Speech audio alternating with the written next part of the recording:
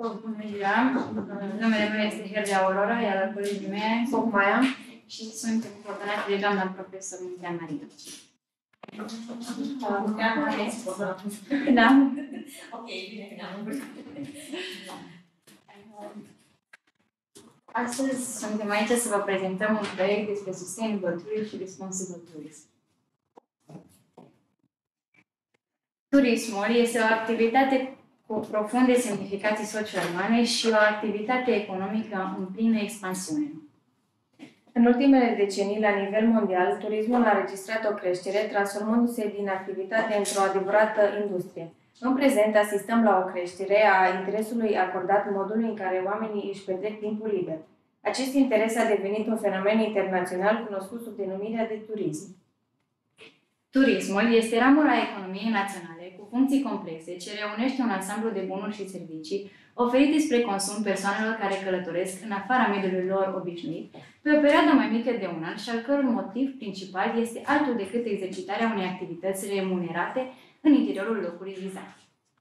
Lucrarea este structurată în două părți. Prima parte cuprinde informații despre fenomenul turistic, despre turismul durabil și responsabil, cu principiile aferente, iar partea a doua include conceptul de car sharing ca opțiune pentru practicarea unui turism responsabil.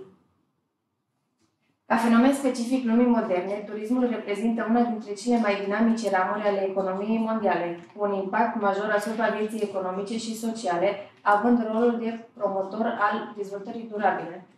Complexitatea fenomenului turistic generează numeroase efecte, în mare măsură pozitive, asupra economiei și societății, dar trebuie să acceptăm faptul că există și efecte negative, în special mediului înconjurător, impunându-se în consecință aplicarea unor măsuri de protejare a mediului natural. Conceptul de dezvoltare durabilă desemnează totalitatea formelor și metodelor de dezvoltare socioeconomică care se axează în primul rând pe asigurarea unui echilibru între aspectele sociale, economice și ecologice și elementele capitalului natural. Cea mai cunoscută definiție a dezvoltării durabile este cu siguranță cea dată de Comisia Mondială pentru Mediu și Dezvoltare. Citez.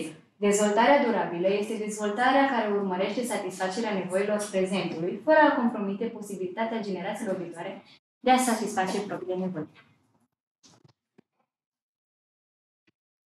În ultimii ani, literatura de specialitate vorbește tot mai mult despre strategii de dezvoltare durabilă a turismului decât despre turismul durabil. Rațiunea pentru care accentul a fost mutat este aceea că, pentru a asigura un turism durabil, este necesar caracterul integrat al componentelor unui produs turistic, iar componente precum transportul aerian pe distanțe mari pot să nu fie durabile în condițiile tehnologiilor actuale, chiar și cu utilizarea celor mai bune practici.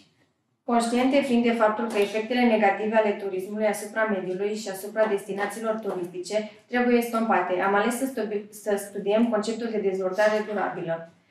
Considerăm că planul de acțiune pentru dezvoltare durabilă a turismului nu poate fi standardizat deoarece acțiunile trebuie adaptate circunstanțelor locale, dar puterea exemplului în acest domeniu este edificatoare. Dat fiind faptul că resursele planetei sunt finite, cei mai mulți sperăm ca generația noastră să nu fie martură la schimbările climatice cauzate de om. Din păcate, acestea sunt evidente. Totuși, credem cu tărie că gesturile mici ale fiecăruia dintre locuitorii planetei ar avea rezultate uluitoare și în practicarea activităților turistice vorbim de amprenta de carbon care ar trebui redusă considerabil. Amprenta de carbon semnifică cantitatea totală a emisiilor de gaze cu efect de seră produse de o persoană sau o companie într-un interval de timp. Gazele care rețin căldura în atmosferă, contribuind la efectul de seră, se, num- se numesc gaze cu efect de seră. Efectul de seră în sine nu este periculos. Fără aceste gaze, temperaturile pe Terra ar fi prea scăzute pentru a asigura condițiile necesare vieții. Gazele suplimentare emise de acțiunile umane în atmosferă sunt periculoase. Acestea sunt dioxidul de carbon, metanul și dioxidul de azot.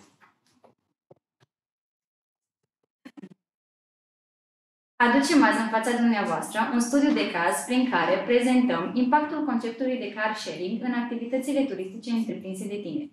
Vom analiza cazul unui grup de 12 prieteni, colegi la Universitatea de Nord din Baia Mare, care în urma sesiunii din luna iunie-iulie au decis să meargă într-o vacanță de 3 zile la Brașov.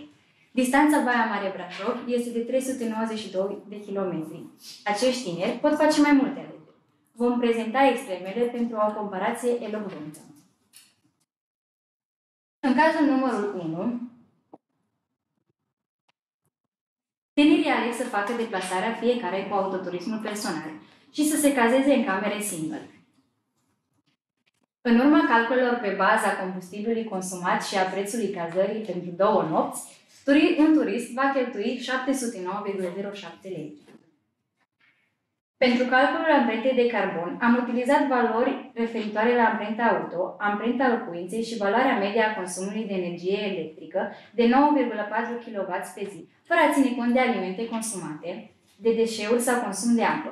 La calculul amprentei am utilizat aplicația calculator amprentă personală carbon de pe site-ul economiecirculară.eu. Amprenta de carbon pentru 12 persoane va fi de 12,36 tone dioxid de carbon echivalent. Tinerii aleg să facă deplasarea, în cazul 2, tinerii aleg să facă deplasarea apelând la ideea de car sharing, astfel se împart în grupuri de câte 4 persoane, deplasându-se cu 3 mașini. Iar în ceea ce privește serviciul de cazare, optează pentru 4 camere a câte 3 paturi. Turiștii plătesc cazarea la hotelul Long Street, situat în centrul orașului Brașov, cu vedere la munții Tâmpa. Ei închiriază 4 camere și se împart în grupuri de câte 3 persoane. Doar pentru serviciul de, tra- de transport și cel de cazare, un turist va cheltui în medie 206,48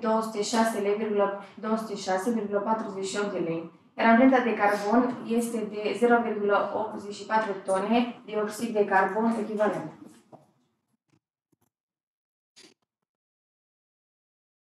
Am realizat o analiză SWOT. Uh, puncte tari. Amprenta de carbon scade considerabil în contextul utilizării car sharing-ului. Cheltuielile scad considerabil prin împărțirea mașinii și a camerei de hotel. Ca oportunități, extinderea conceptului de car sharing și promovarea lui în industria turismului, promovarea unui stil de viață sănătos și cultivarea interesului pentru socializarea directă. Ca și puncte slabe, avem grad ridicat de poluare a atmosferei prin gazele eliminate de mașini, costuri ridicate și grad de confort relativ scăzut. Amenințări, creșterea efectului de seră și existența unor riscuri asociate călătoriei cu un singur conducător auto pe distanțe lungi. Pe baza studiului de caz, am tras următoarele concluzii. Atât amprenta de carbon, cât și cheltuielile sunt mult mai scăzute în urma alegerii utilizării de car sharing. Așa că revenim la ideea că orice lucru minor întreprindem astăzi, avem grijă de generațiile viitoare. Există studii care arată că o continuare a consumului de materii prime în ritmul actual până în, 1000, până în 2050 ar însemna risipirea resurselor a trei planete Pământ.